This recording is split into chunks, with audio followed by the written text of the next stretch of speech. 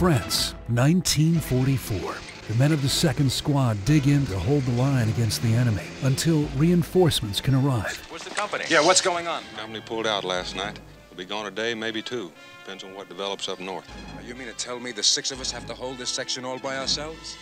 That's about it. It would be the longest night of their lives. I can imagine what's gonna happen to us when those Krauts discover there ain't nobody over here but us campfire girls. And for some, their last. If they make a push, we're dead.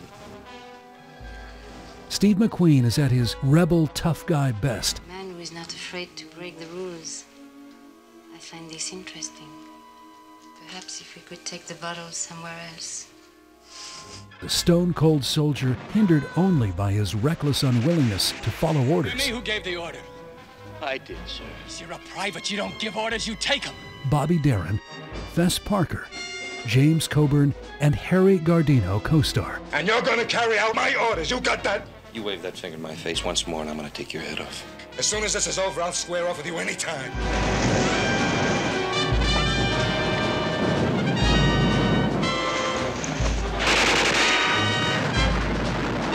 Courage never dies.